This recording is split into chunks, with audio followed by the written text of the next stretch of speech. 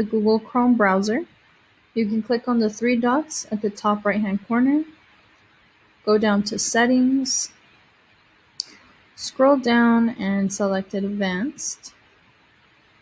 And where it says language, which is up here, um, you see the spell check, you can turn that off, or you can change the settings from basic to enhanced. And this way students don't get that little squiggly line under their typing.